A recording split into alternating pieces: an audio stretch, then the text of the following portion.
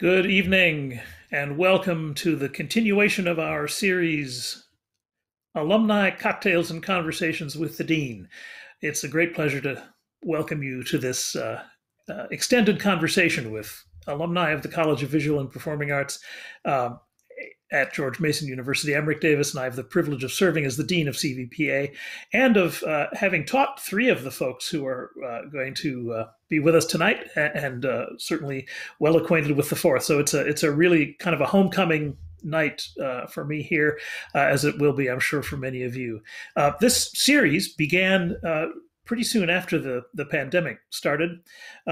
last year, we created Mason Arts at Home and, in fact, launched the very first program of Mason Arts at Home on April 2nd, 2020. So we jumped right on the ball uh, and started providing digital content to our communities, plural, uh, at the Hylton Performing Arts Center, at uh, the College of Visual and Performing Arts and, and the Center for the Arts uh, based on the Fairfax campus. And we have been so gratified by the response that our audience has given us literally hundreds of thousands of viewers uh, and a, a, real conversation that we have started. And it's actually gone sort of worldwide on, on occasion, uh, which has been very gratifying.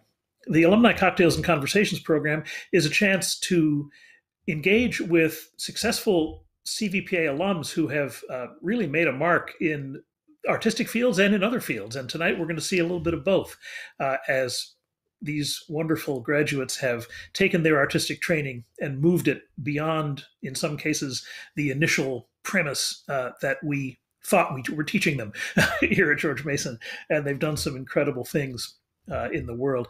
Uh, behind that idea is I think one of the most important things and one of the most important messages that I really want to share with you and and ask you to help broadcast in the public discourse right now, uh, if you agree with me, and that is that a good education in the arts is a good education.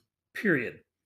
When you get a college degree, in the arts, especially at a place like George Mason University that combines professional training with a, a, liberal arts sense of breadth and inquiry, you are receiving terrific formative education and training that allows you to succeed in a number of fields. It allows you to ask critical questions, it allows you to analyze information, and perhaps most importantly, it encourages you to bring your creative and collaborative self to any project, to any problem, to any new venture.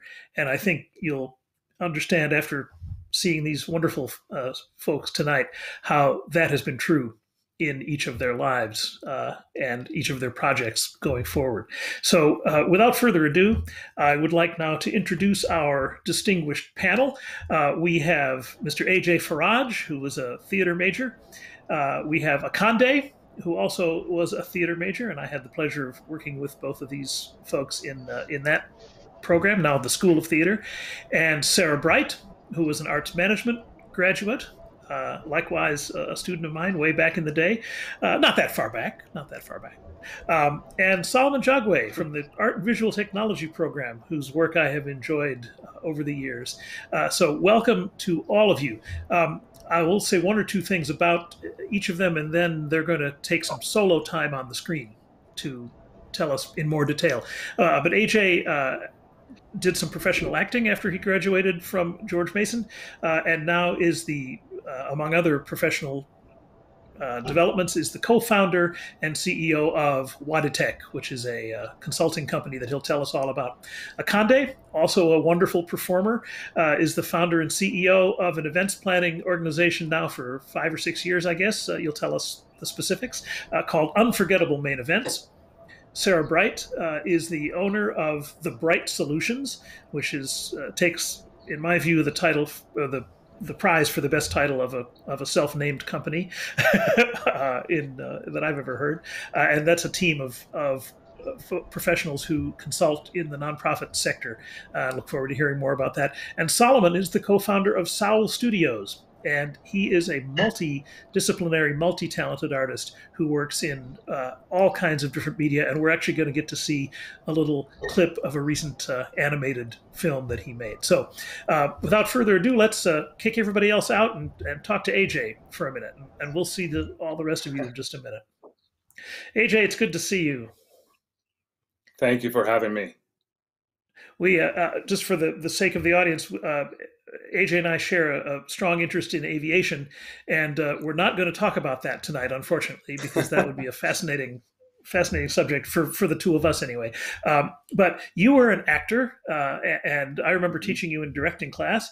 Um, and you went on to do some some independent films after graduation, and and then you you you found yourself on this very interesting career path that went through oh i don't know deloitte and, and some other interesting places T- tell us about WadiTek and and how you got there well, thank you for having me. Uh, I do appreciate it, and I I feel uh, honored to be here. And uh, you know, I remember the directing class, and uh, you know, you look at George Mason University, and you look at the you know the theater background that I had, and the acting career that I also you know had throughout my childhood into into early, I would say, late days of college.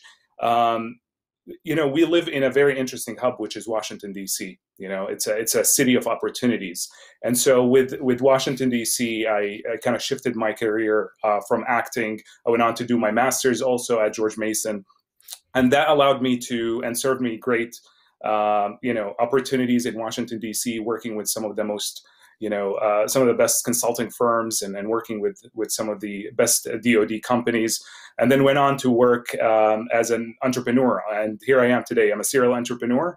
Uh, I have WadiTek, which is my fourth tech venture.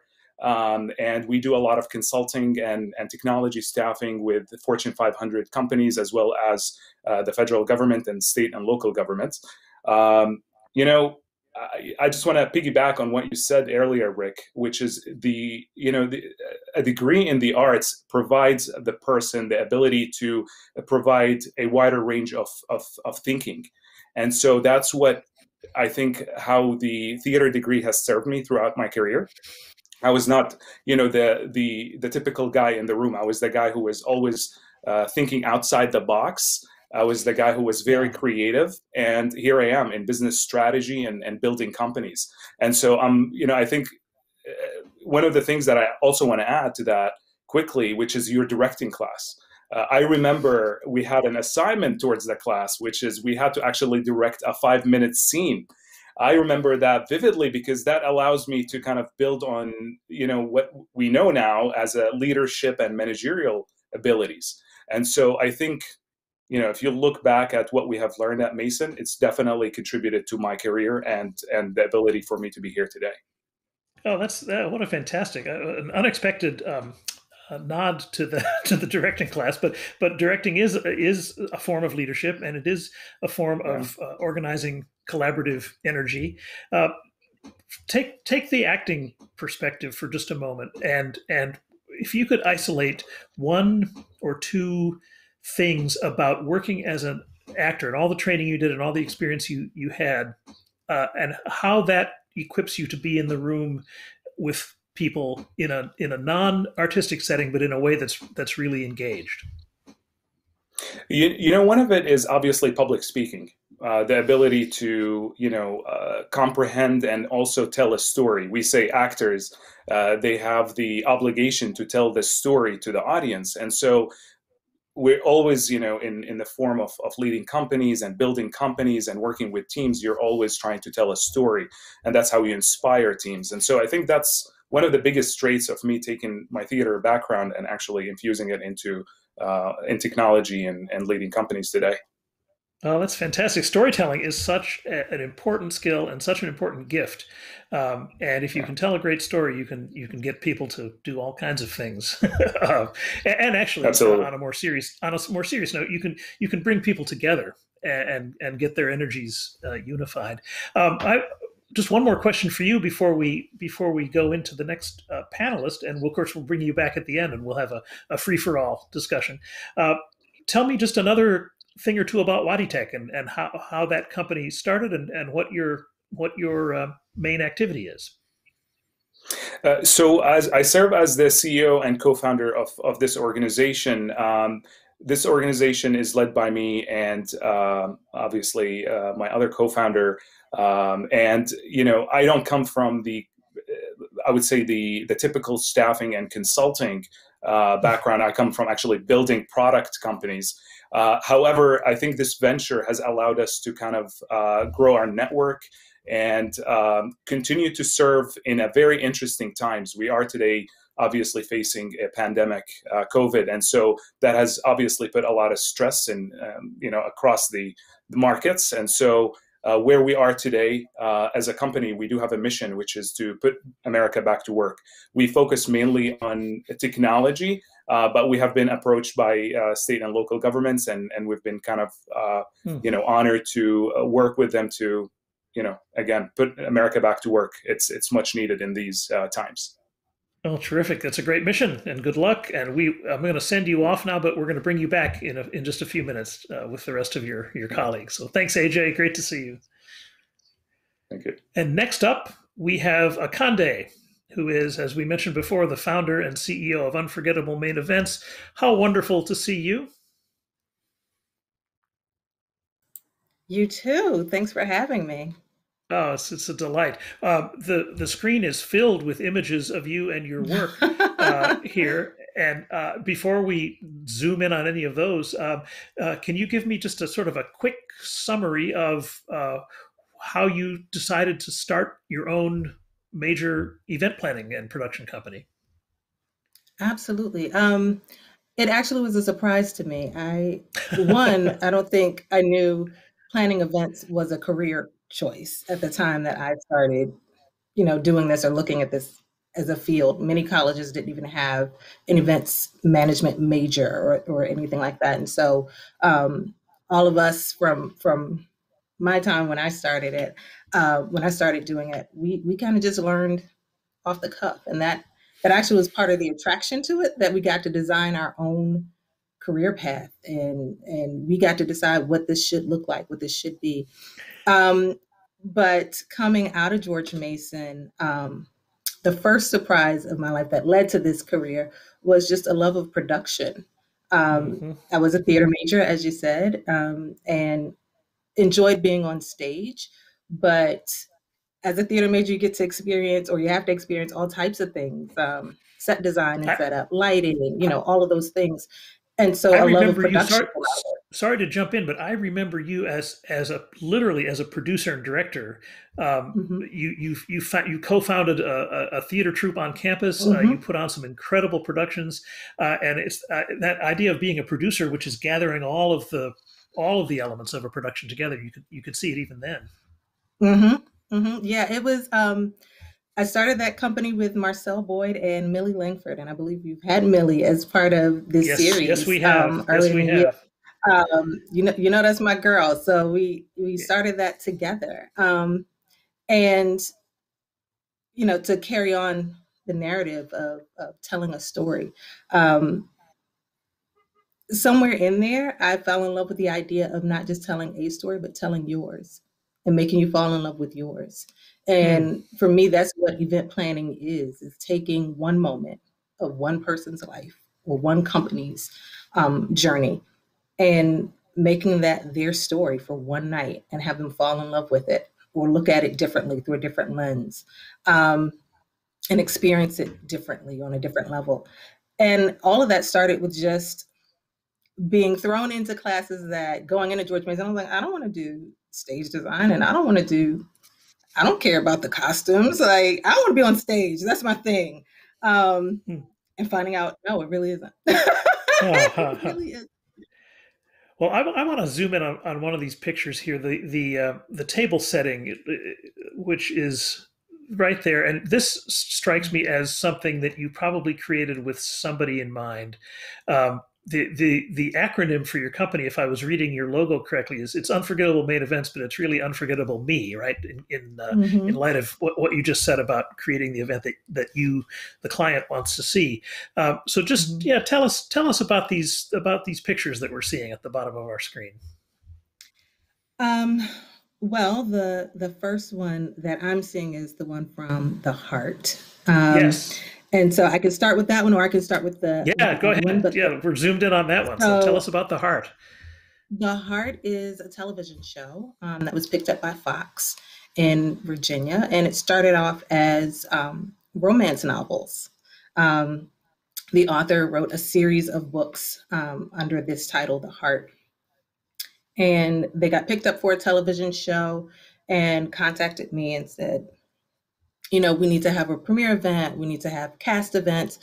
Do you know anything about theater and how to throw a cast party and things like that? I was like, are you kidding me? Of course I do.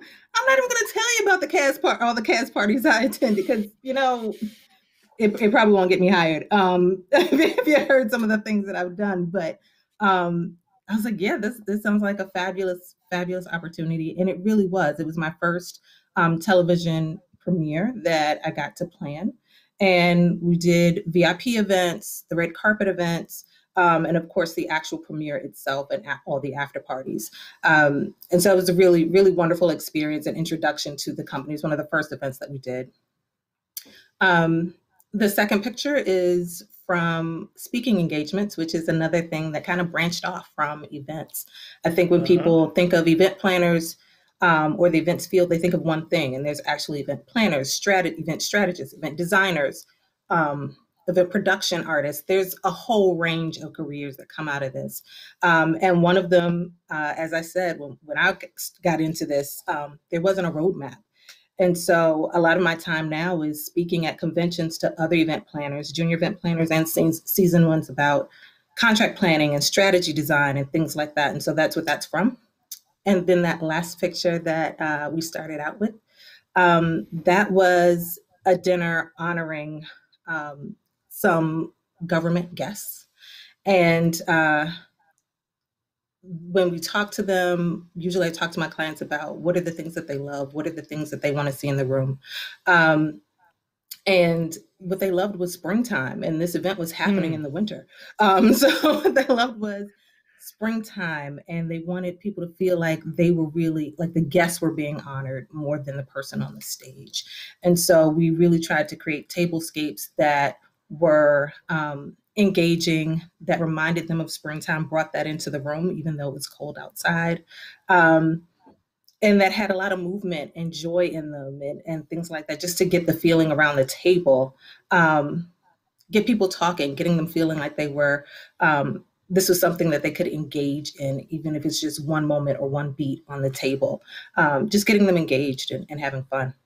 Wow, that's beautiful. It's such beautiful, and I can see both from these pictures and from your narrative how every single thing that you ever did in the theater comes back in this uh, profession uh, because it is Absolutely. it's design, it's production, it's it's communication, mm-hmm. it's stage management, it's uh, it's storytelling. Um, so that, that really inspiring. Well, we'll look forward to, to bringing you back on when we have our group. Uh, and now okay. I'm going to say hello to Sarah Bright from the Bright Solutions. And before Sarah, before we start talking, I just want to uh, inform our audience that we are uh, taking questions in whatever chat feature you have on whatever platform you're using. Uh, so you can put them in at any time, and our wonderful production staff will make sure that we see them. So from now till the end of the show, uh, please feel free to make comments or ask questions of, of uh, any of the panelists. So, Sarah, PSA is concluded. Welcome to Cocktails and Conversations with the Dean. Uh, it's been many years since since we were together in uh, in arts management uh, class, but um, I remember it fondly. And I have been so impressed with what you have done with your your career and especially this this latest manifestation, the Bright Solutions. Uh, tell us a little bit about the journey to that, and then how you set it up. Sure, sure. Well, thank you so much for having me. It's such a thrill to be able to to be with uh, this group. And uh, we're really performance heavy tonight. Two theater majors. Now here we are uh, my undergrad was voice performance. Yes, so indeed. I uh, started it as a uh, classically trained singer, and that was career number one. And um, uh, but even during my undergrad, I was doing quite a bit of uh, uh, concert planning, uh, choral tour planning. I was starting to gravitate towards some of these other areas surrounding and supporting arts organization and, and, and artist endeavors. And um, went into in the few years before grad school, did uh, some business management services, specifically in accounting work, and it's kind of had the idea, oh, wouldn't this be interesting to combine my mm. passion in the arts with accounting? And so that was what led me to George Mason University, and I found the perfect fit with uh, the Master of Arts in Arts Management. And so, um, so I uh, was brought into that program, and at the same time was working with not-for-profit organizations in Washington D.C. Um, specifically, at that time, I was working with the Washington Chorus. So again, perfect fit, choral world, but I had this accounting skill set, and so I was able to, um, as their director of finance, uh, provide some provide some work there. Um, after I graduated, I started to get have an interest in working with multiple organizations to expand what I was learning. Mm.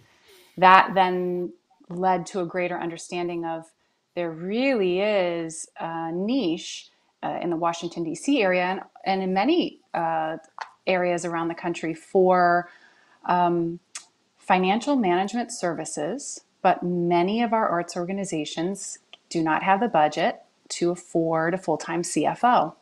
And so, thinking about the model of coming in and out as the organization needs, finding a, a budget price point that works for them. And so, uh, originally, it just started as me. This was back in 2008. Hmm. And over time, for the past over the past 12 years, we've worked with 45 organizations um, and it's we've been able to hire staff and it's been a, an incredibly rewarding experience. Do you uh, does your company uh, operate i think i know the answer from what you just said but i want to confirm. Does your company sort of are you on long-term uh, engagements with organizations or, are, or do you come in and do a specific job and then and then move on to the next or is it both yeah, well, again, to follow up on some, to piggyback a little bit on what some of the other panelists have talked about, because we come from a creative background, we engage with our clients in a creative way. So mm. we don't have a platform that we say to our organizations and our executives, this is what you need to do. We come to them and we listen and we find out where where are the pain points currently? What can we design? Where how can we work together? So we have short-term contracts we have long-term contracts we have interim assignments. Uh, we really try to do a comprehensive analysis. The nuts and bolts of it is there's we, we handle everything uh, probably about 90% of our work is in the not-for-profit fiscal cycle. So budgeting payables receivables all those kinds of things. But we also have some really fantastic executive consultants that have worked with all kinds of organizations. And they also allow our services to extend beyond just financial management into business advisory, uh, executive consulting, maybe some coaching, some board development. So we've been able to really assist organizations and partner with these executive leaders um, in very creative and beneficial ways.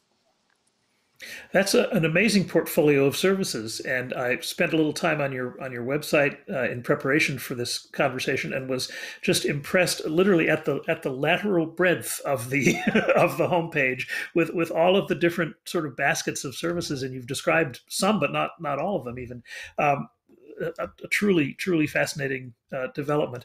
Um, all right, well, we're going to come back to you uh, in a few minutes here, and we're going to hear more about the Bright Solutions. And uh, I'm going to ask you and, and everybody, uh, but I'm mentioning it now before I forget, uh, that we're going to talk a little bit about current events and, and pandemic related accommodations and adjustments. We've already alluded to that in a couple of uh, a couple of segments. But so thank you, Sarah. We'll see you in just a few minutes.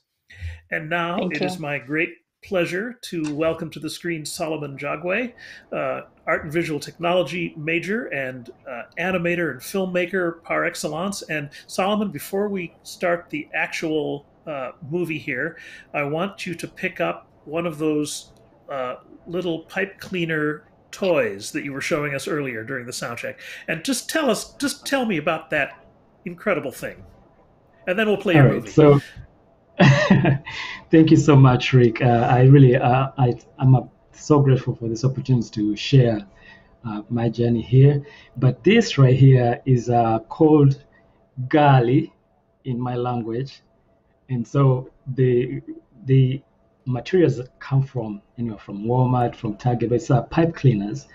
And when I was growing up in Uganda, deep in the village, we you know barefoot, we didn't have toys.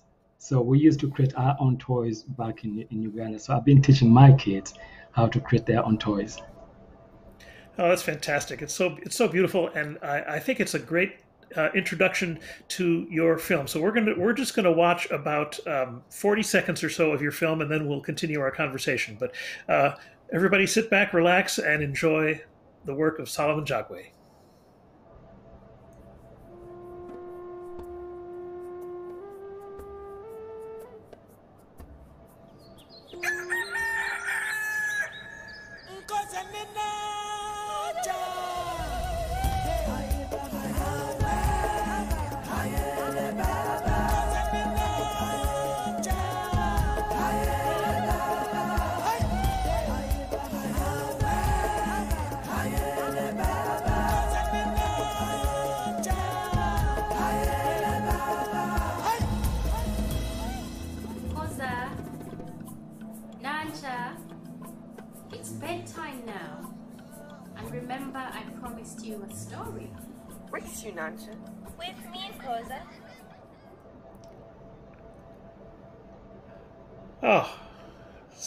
Beautiful. Thank you so much. That's incredible. Uh, I uh, just so so many things to talk about, but the first thing I want to talk about is your your journey from Uganda to the United States and, and how you found George Mason and and and where that has led you. Yes, so I came to this country as an immigrant, and I mean I grew up in Uganda, like I was saying, in the village, and I've always been a storyteller at heart. Even at the age of three, my mom tells me I used to pick up sticks and build like little houses. And so when I was in Uganda, the system of education there didn't offer us the kind of opportunities that are here in the US. So it's essentially, you know, pursuing the American dream, but bringing my African dream with me to the US. I wanted to learn more how to bring my stories to life. I mean, I used to look up in the air and see these creatures flying in the air. We had no TV in in uh, in the village. We had no radio. So all I, I thought they were like metallic birds flying in the air. And so coming here, uh, this, after I joined boarding school in Uganda and going to uh, secondary school, they, there were options. I could have gone to the uh, state-funded university in Uganda, but there was for me, my passion was uh, telling stories, and I'd heard that in America, they were they they would teach me how to make films, like the ones we used to see on TV in the city. That is. And so I came to the US uh, in 1996, and uh, I met my wife the first day of uh, university. I was in Ohio Valley University, but they didn't have uh, animation there. So I ended up transferring to Maryland. Uh, and then I went to Montgomery College and did a, a, an Associate of Applied Science degree in art and animation. Uh, then I interned for the Pentagon part time and then when I graduated from uh, uh, Montgomery College, they hired me full time to uh, as an animator and 3D artist.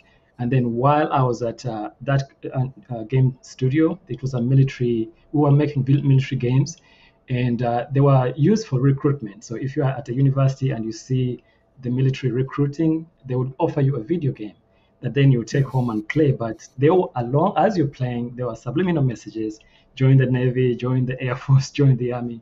And so that's how I got into the 3D animation field. And then the company offered to pay for my education. So I did, uh, I came to George Mason and majored in art and visual technology. Uh, and I was uh, under the tutelage of uh, my professor, uh, Professor Gail Scott. That's yes. she taught me so much, yes. you know, about animation. And one thing that she really uh, brought out in us was the ability to work in a team. Most of the projects that we did, we were encouraged to do to be team members of a project so that you learn to work with other people. You learn to listen to other people. You learn to share ideas. Because even the job that I was doing, in as much as I was uh, the lead animator, I still had to find ways to convey my ideas. And I had to listen because I was working in a military circle, you know, hmm. and they are very, very specific about the things that they want done. And so if you, can't, if you don't have the ability to listen and translate their ideas into the visions, because whatever we created was used to train soldiers uh, strategy and simulation of like going to Iraq and Afghanistan and how to do battle like in places like in Somalia. Yes, that's what an incredible, incredible journey, and I've, I've learned seven or eight things I didn't know uh, already. uh, that's, that's, that's terrific, uh, uh, and of course, um, you are a filmmaker uh, as well as a, a, visual artist. The two things are, are so deeply integrated in in your work. Um, I was struck in seeing this this um, short film now a couple of times. The quality of the imagery, the lighting, the the texture, the depth has a painterly mm-hmm. feel to it. It's it's just it's just really really so beautiful. Uh, um, this is kind of a dumb question, I think, but how how how do you see light and color and depth so thoroughly and so so richly and so beautifully when it's when it is in fact a um, you know an electronic screen it's not it's not paint yeah. and it's not material and it's not you know. yeah i think having a, a, traditional art background helps because I, I was a painter and a sculptor before i came to the us so i was uh, i used to peddle my paintings and sculptures i used to work with uh, wood and stone and so mm. you, I had to mm-hmm. be very observant. I had to be more observant than the next person. You know, that's how I learned to look at uh, yeah. uh, nature. And I was fortunate to have grown up in Uganda because our country is so beautiful. There's so much color in our clothing, in our the, the landscape, the vegetation, and all that. And I think some of the classes that we took, you know, like they told us, uh, they told me that I had to take appreciation of music. I was like, how, how is that going to help me with art, you know? But music has colors, you know, and when I hear a song, I am visualizing something, and it actually is a great medium to communicate emotion and the message. Oh, that's fantastic. Well, good. I'm, well, I'm glad I asked that dumb question because I, I, see something so te- textural in, in, in your work. Uh, one more quick thing before we uh, bring the rest of the panel on. Uh, tell us a little bit about Sowl Studios. Yes. So Sowl Studios is a, an art animation company uh, where my wife and I, we co-founded it. And it was inspired by our two kids. So those two characters you see on the screen, uh, ah. they are voiced by my daughter. And uh, my son is the voice uh, actor for, for the little boy. Oh, fantastic. And yeah, and so my, my wife is African American and I am Ugandan. So we are a multiracial family. But we're, trying, we're trying to find ways to teach our children my language my wife was desperate for that because she wanted us to she wanted them to have roots to our the African heritage, and so we came up with an app called the Adventures of Nkoza and Nankya. It's a uh, it's available on iOS, uh, Android, and Amazon. And our kids you, were using that to learn things from Uganda and some of the languages in there. Yeah, so that's how the company oh, that's came beautiful. To. So, so Nkoza and Nankya is our Sowl, Sowl Studios. Very good. Oh, that's terrific. Thank you. Wonderful, Solomon. All right, so we're now going to bring the entire panel back onto the screen. Hello, everybody. I I hope you enjoyed watching each other as much as I enjoyed uh, hearing hearing and seeing uh, your work.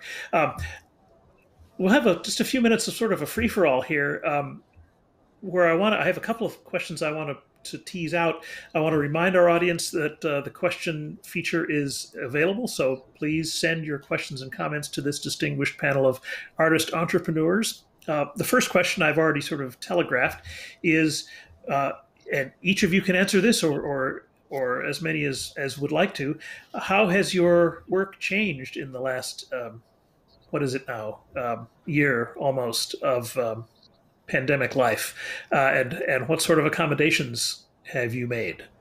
And I'll just I'll take volunteers for this. Who would like to? Well, I'm uh, happy to I'll, I'll... jump in. I think I heard Sarah first, but we'll but everybody get get a chance if you want to. Sure. So um, this is um, like being in class with a lot of really great students. You know, they're all jumping up to answer the, answer the question. Um, we were the Bright Solutions. We were maybe ahead of the curve uh, because we were zooming two or three years ago. Um, there was a lot of you know doing predominantly accounting work, a lot of coaching, consulting. We were getting to more of a, a remote model anyway, and so some of that has been very easy. So that part of the transition has been easy. We've seen a significant uptick in the organizations that we work with that have some sort of social service component. So, our organizations that are food banks, that are uh, really speaking to specific populations that are the hardest hit, we're seeing it's a, it's a positive change. We're seeing a significant increase in funding and so, therefore, there's more work that we can do to go in and partner and ensure that uh, resources are being managed appropriately. So, those are just a few of the examples of how things have changed for us. Great, thank you. I, I don't know who was next, but I know there were several of you. So, I can jump. Go ahead, Akande. Like. Yeah, great. Um, great. So, um, I too have been working from home technically. Um, but not really for the last hmm. maybe five years. Um, but my staff is is all over the place um, in different states. Um, I have two members, two staff members who are actually in different countries, um, and so Zoom and all of that always is how we use, you know, what we use to bring each other together. Um, but with events, of course, there's been a drastic change in how our attendees experience the work. Um, and so we've had to help clients reimagine, if it's a corporate client, reimagine um, how do you create a human experience, especially now um, when people are so hungry for just hanging out and just laughing loud and and and really feeling a moment, being in the center of a moment. Um, how do you how do you help them have that in a virtual environment? Um, for for my staff, the charge was, and I'm sorry, I'm gonna tell you a little story to give context. Um, no, please, yeah. I was doing events for a company, um, for a different company, and when I went out on my own and I had my first client, um, there was an attendee when we were on the conference room floor who came who asked one of my staff members if they could meet, you know, the planning team. And so I thought there was something wrong. I was like, what is that? Um, and so I met them, and he goes, I know you. Um, I always look the same on the floor. It helps to create a, a sense of peace and you know um, consistency with the attendees. So I always have a flower in my hair. I always like. Um, he's like, I, I remember the flower. I remember you. Um, and he said, I, I wanted to. He had um, some needs that needed to be accommodated for. He said, I just wanted to say thank you for thinking about folks with my, you know, my disability and, and things like that. I can see that throughout the conference. And um, I've only seen that once when I went to this other conference and he named the company that I worked for before. Mm-hmm. Um, and so for me, that was a signal of I always want someone to know when they're in my care, right? You always want to create that consistent level of service. And so while we were charging our, our um, clients with um, reimagine how people have a human experience and interaction with each other in this moment. Um, for my staff, it was always, and they need to know that they're in our care. That I need to know, no matter what conference you're at or event you're at, that you see something that is especially for you that you felt thought about, heard, seen, um, and so we've done that through different ways. We've had virtual happy hours where we've actually sent care boxes um, to the attendees who were um, signed up for that VIP happy hour. So when they all mm-hmm. came together, they all had a box that was especially designed for them. Um, we've created um, gratitude cards, like virtual gratitude cards, where people come in and they actually do a video or something to say thank you to another person that's unexpected. Um, mm. Just create different moments where they interact differently. Um, and I think people have to even if as, as, as the world continues to change, as we continue to transition, um, because I don't think we'll ever see the human experience the way we did before. And so we have to really think about hybrid events and what those look like, um, and still making people feel like they've hugged you, laughed with you, had a moment with you, um, experienced something with you. And so that's that's what a lot of our work has been now is just reimagining um, the human experience and, and how we can highlight that. That's terrific. It, it reminds me of of our uh, attempts to keep our CVPA mission alive um, in these times, and and sort of creating those alternative experiences that you're talking about, uh, and you have you have some very creative ideas, which I think we'll steal. Um, we we like we like to say that um, we have the world's shortest elevator speech in CVPA, and it's four words: the the arts create community. Right? We just the the mm-hmm. arts create community, um, and the challenge of maintaining that community uh, when we're not together in the same way. Uh, we have to be more creative. Um, so yeah. thank you, thank you for that. Uh, anybody else on the on the sort of we have some nice questions coming in from from YouTube, but I want to make sure that that uh, AJ and Solomon, if you if you want to talk about sort of adjustments to life, um, I'd be happy to hear it. Yeah, I mean, some of the things that we have um, seen, obviously, during pandemic is, uh, you know, we're. I'm a big believer in co-working in in one location, but obviously we have consultants uh, across the United States, and so we obviously had to uh, be forced to uh, kind of reshift our priorities and and think how we can work uh, with our consultants. Um, and we have an obligation, obviously, to keep everyone safe, uh, but also accommodate our clients and make sure that you know our, our clients are actually uh, being taken care of. Um, so one thing that I noticed that was actually quite interesting is that despite the fact that management wanted to make sure that everyone continues to work from home, few months into the pandemic, we started to see immediately that people wanted wanted to go back to the office. Mm-hmm. And so we've started to seeing requests from you know teams here in the DC office and then across the US that you know what can we do to come back to the office? Can you guys actually you know create a, uh, a conducive environment for everyone to come back into the office. And so we had to create a, a hybrid uh, sort of uh, approach to this particular issue and uh, open our offices and, and create unique schedules and, and put into protocols in place and accommodate everyone. So i think that's that's quite interesting. Yeah thank you. And solomon uh, what is what is Sowl Studios doing differently if anything in, in this uh, uh, a lot uh, a lot of things are, are, being done differently, especially when it comes to animation. Because there was a time when you could meet with actors. You know, there was a time when yeah. you could actually yeah. go you know, location scouting. Those days are kind of uh, changed. It's no longer the same. And for us, when we started out, we, we knew um, Nkoza Nankya was going to be our flagship product, but we didn't know how much need there would be in this pandemic. So in March of uh, last year, we had about 800 downloads of the app right? As I speak, we have about 10,000 downloads uh, in over 140 mm. countries. So people from all over the world are now consuming the animation content that before we would have maybe focused on. Maybe we get a, a, something to go in theaters. Maybe we got something to go, you know. But now it's digital. You know, wherever people are, they can access our content. And uh, animation-wise, the tools have also changed because most of the animation that we do is uh, we're using motion capture, you know, equipment to be able to do that kind of information. So like we have the, the mother of our uh, two main characters is based in the UK, the voice actor. And so she literally sends us videos, you know, from the UK, and then we use the technology to track her face, and then we apply to the character. So that has changed for sure. Wow, that's that's fantastic. All right, I'm going to turn to our audience questions because we we have probably more than than we have time for, but we'll do our best.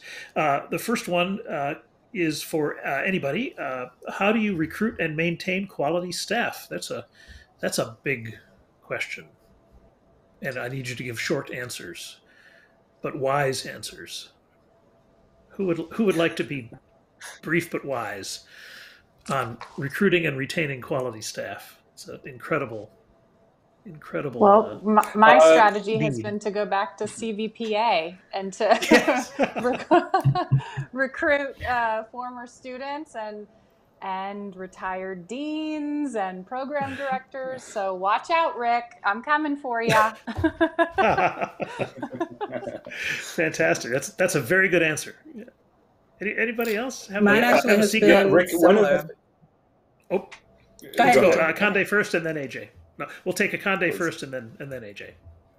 I was going to say mine has been similar. Um, even not just with my company, but even when I work with other companies, um, I was trying to figure out how to get events um, volunteers in to help with large shows. If we had like a twenty-five thousand person or a citywide show, um, and so when you all had your event management major, I was like, do they need clock hours? Because I got you. Don't even worry about that. Um, same thing with George Washington University or and from that i just met so many different folks who were eager for the work eager to learn um, and so some of them are, are my staff Oh, that's Um, fantastic. Yeah. And our, our events production minor is going really well, uh, which is a, a joint program between the School of Theater and the and the Tourism and Events uh, Management program in the in the Education College. So good for you for hiring. i'll our, knocking our on your door that's terrific. AJ, what did you have on your mind? Uh, you know, I wanted to say that we've actually hired uh, throughout, you know, our journey with WadiTek so many great uh, graduates from from George Mason. So, you know, Wow. uh, we can't say we're biased, but we've hired many actual uh, great, uh, you know, staff member from from George Mason, and we continuously reach out to the Career Center there at, at George Mason to actually hire from from the school in which I graduated. Um, but one of the things that we always kind of keep track. Uh, we're always looking to uh, grow people by, uh, you know, enabling them to um, get, you know, content and, and education um, that is appropriate in the fields of, of in which they're kind of serving our clients. And so we're always trying to help people learn and grow, and, and that's a way for us to continue to uh, retain, uh, you know, valuable employees. Well, here is a question that is actually almost a segue from that. Um, also from one of our YouTube listeners. What advice do you have for those current CVPA students in your fields for exploring entrepreneurship in their future? And again, this could be this say- could be for anybody. Yeah, yeah. I'm a, I'm a very I'm a guy who's very passionate about entrepreneurship. I speak at conferences and I talk about because I've built so many ventures. And so one of the things that I actually would like to say to you know um, uh, students coming out of the CVPA, uh, correct? Am I saying it right? CVPA uh, program is the the fact that everyone has different experience. Uh, you know, I, I went to school, I did theater as an undergrad, and then I went on to do global affairs and global economics, also at Mason. Uh, but everything that you're doing at that program will enable you to, uh, you know, kind of accomplish something later on in life. Uh, so take the opportunity to learn and use every single thing that you are, uh, you know, uh, enjoying in, in classes and, and think about how you can actually utilize that uh, for a venture that you're thinking about. Hmm. And, and I think that's where the value is. Great. Who else would think like also to jump on? um, i was going to say think about whether or not you honestly want to be an entrepreneur i think um, for myself um, as rick mentioned this wasn't the first entrepreneurial venture that i started. Um, and and that's not to say that you won't start many or or you know multiple but um entrepreneurship isn't for everybody. It's not i think it's not what everybody thinks it is. You have to learn things like marketing and and things that had have nothing to do with your actual focus. And so if you don't love that if you don't if you if you can't learn to love the things that you never wanted to do um this will be a hard road for you. So really Hmm. think about whether or not entrepreneurship is what you want to do um and and understand that with that decision um, you likely will not be doing like i'm not doing the day-to-day things that got me into this field in the first place. I have people that do that for me. I'm not with every client. I'm not on every conference or wedding or whichever floor. I'm not um, you know looking at tablescapes anymore i am looking at budget and hiring and and marketing strategies and um, you know those types of things, which has in the beginning feels like it has absolutely nothing to do with the thing you fell in love with. So just uh, think about that and and decide if that's really where you want to go or what you want to do. That's great, Solomon. Yeah, I think you were going to say something. Yeah, if I may add, uh, if first find if you're going to be an entrepreneur, you have to have to find a product that is going to make a difference, because if you don't have something that people want, you know, that is going to change their lives, that's going to impact them, you're going to fail as an entrepreneur because then there's nothing to actually drive you, you know, towards the goals that you're trying to achieve. And um, if, like Akande said, if you are thinking of entrepreneurship as what you're, for example, I'm an, an, an artist. I love to draw. I love to animate, but I don't get to do that as often as I want to, you know. So you find yourself doing other things because I hate management, but I had to learn how to, to, to do that.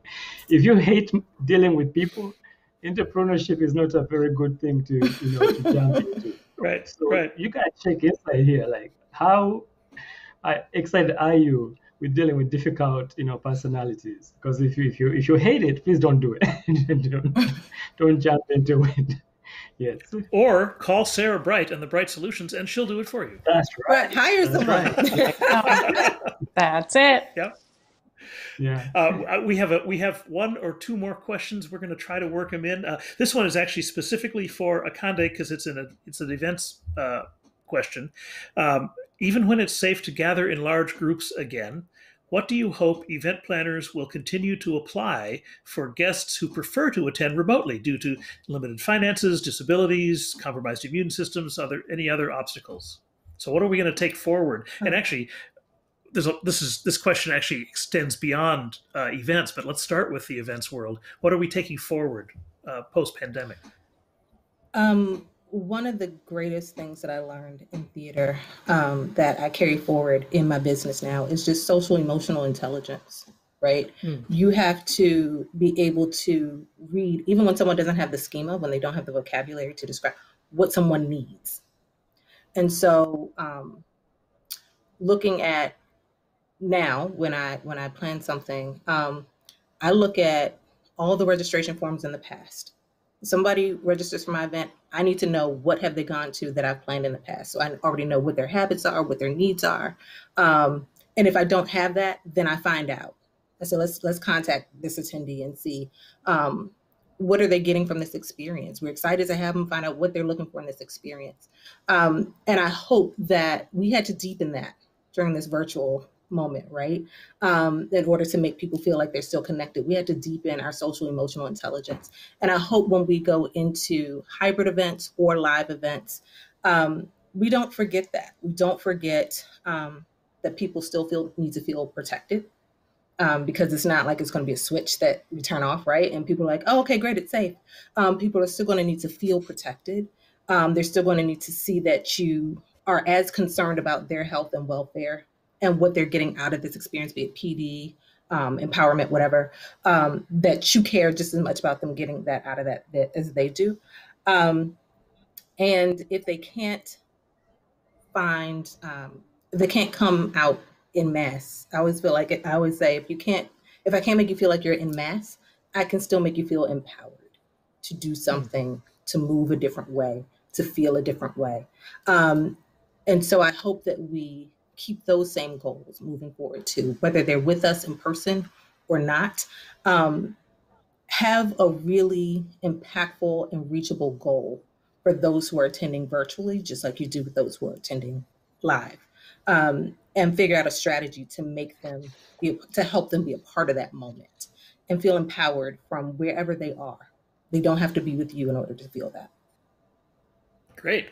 Anybody else have a, a thought about the post-pandemic life and what we might bring forward?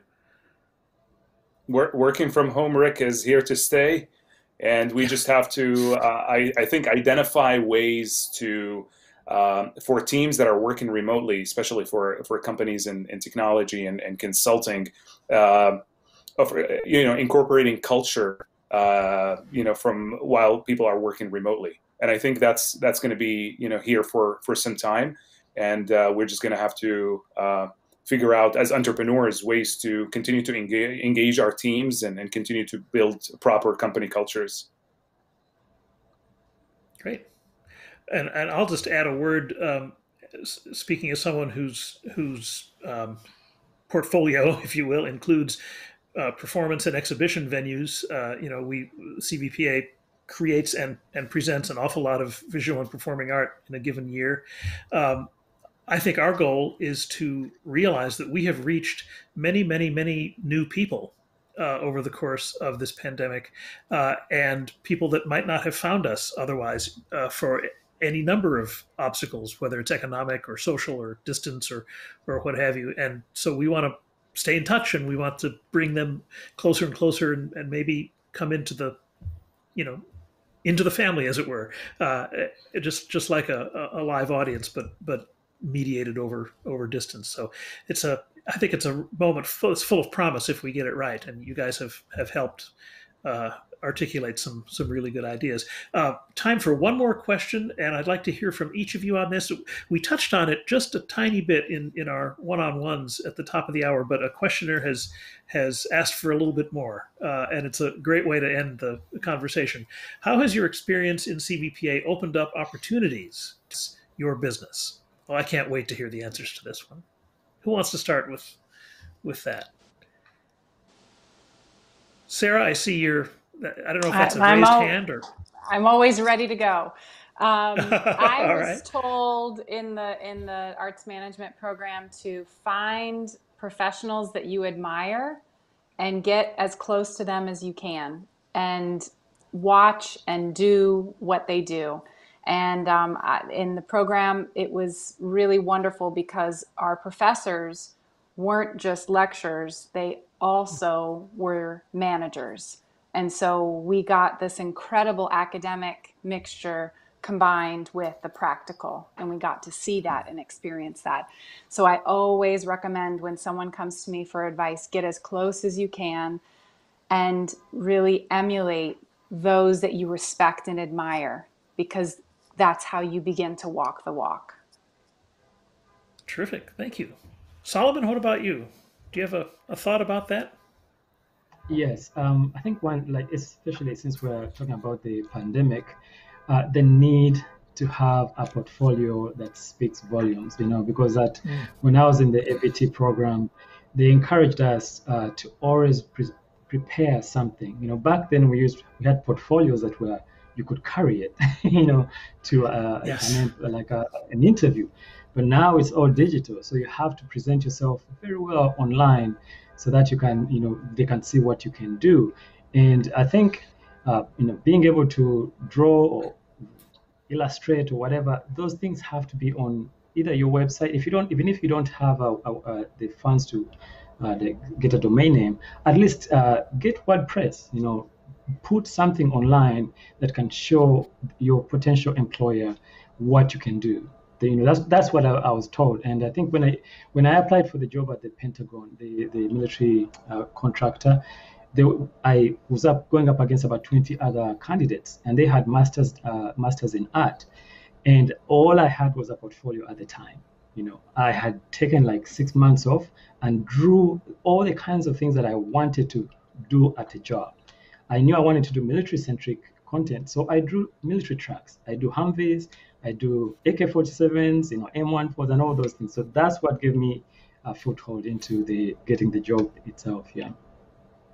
That's great. Thank you, AJ. What about you? Uh, Rick, there's actually it's a it's an interesting story. Uh, one of the reasons um, I became an entrepreneur is because of my degree in theater. Believe it or not. Uh, so while working at Deloitte, uh, I got actually to ask, I, I was asked to join their innovation practice.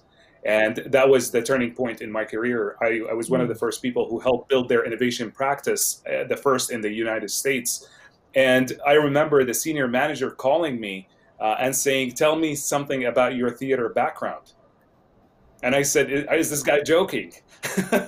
uh, and so that's kind of the turning point. You know, they were interested in my business strategy and technology background, but they were trying to see engage my creativity uh, in actually working with uh, Silicon uh, Valley kind of startups and, and bringing a lot of that into Deloitte and, and building a new revenue model for the company. And so that's a turning point in my career, and so here I am today uh, because of you know the experience. It helped me. So I would just add to that um, one of the things that always all the students hopefully that are watching this they should you know you know embrace the the degree uh, that they're getting from CVPA and try to again like leverage it in in various ways and if they're trying to be entrepreneurs in which I encourage everyone to be an entrepreneur and and go through that particular experience because it's fascinating and you'll learn a lot there's nothing in the world that teaches you more than being an entrepreneur is the fact that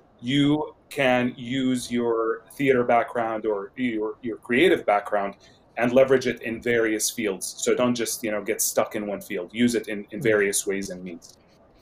Don't get stuck. That's great advice. Thank you. Great story. Akande, you have the last word. Um, I would say always, always rely on those that you know. When I first went into this field and decided I was going to step out on my own, Rick was one of the first people that I called and was like, "Hey, I think I'm gonna do a thing. Um, and I need your advice. And I had been out of school for quite some time at that point. And he was like, let's meet, let's talk. So always lean on those you know. Um, and stay flexible. Um, like I said, this career has taken me around the world and, um, you know, the speaking engagements to um, working with, with government to working with um, startups. Stay flexible. Um, and always always um, understand your why um, i think for a lot of us in in the arts um, we understand in some way somewhere in our being we understand that our job is to always be in service to others whether or not it's to help them experience something different or see themselves differently um, our job is to open the aperture and so this moment is actually really exciting for those who have the skill set, and all of you have the skill set to do that. Um, so always, always remember, especially when it gets hard, um, if what you're doing is not in service to someone else and helping them experience this world differently or better, um, then you're probably headed the wrong way. Um, in, in your in your career field, you might want to change or or re- or adjust some things. Um, again, as I as I talked earlier, and I, t- I said, even if we're not in mass, we can always be empowered. Um, I remember when the um, Ahmaud Arbery situation happened. Um, we, of course, could not, the run for Ahmaud happened, and we could not be together to run. Um, but I can send you a checklist and a care package. I can turn you into an event planner so that you can find community right where you are and say how you do a neighborhood run. This is how you plan a neighborhood run. Um, this is how you check on your neighbors or how you run for a neighbor that can't run or can't walk. This is how you create community right where you are, even if you can't be here with me. So I may not be able to be directly with you, but you can find community where you are. Make sure that you're doing that whatever you're doing is in service to making people or helping people experience the world differently or see themselves differently. Um, and you'll you'll find the you'll find the, the juice to keep going. Mm. Fantastic. Well, thank you all so much for this conversation. I have a lot of uh, moments of pride and pleasure in in being the dean of CVPA, but none more than on a night like tonight when I get to see and talk to some really really fine alumni who are doing great work in the world. And I just want to thank you for your gift of of time and talent and generosity in in being here tonight. And to our audience, uh, thank you for joining us. Thank you for your good questions and comments. And we will see you again on March 8th for the next installment of Alumni Cocktails and Conversations with the Dean. By the way, here's my cocktail. I'm not telling you what it is. Oh, it's just sparkling water. But cheers, everybody. Oh, I'm a and bourbon we'll girl, you. so perfect. We'll see you on March 8th. And the title of that sub of that episode is "Working Nine to Five: Making Your Degree Work with You." So again, AJ Akande, Sarah Solomon. Good Thank night. you. Thank you. Cheers. Take care.